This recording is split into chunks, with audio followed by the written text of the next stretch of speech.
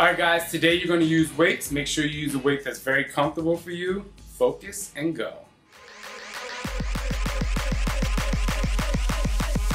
Don't you know I'm loco? Upright row, squat together. Come on. Upright row. Keep that core tight. Make sure you grab a dumbbell that really works for your weight and your strength.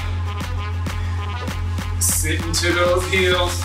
Keep the chest high, as high as you can. Everybody's different, but just do your best. Get that holiday edge, people.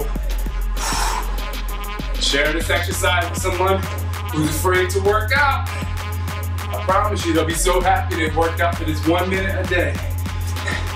Come on. Keep it going.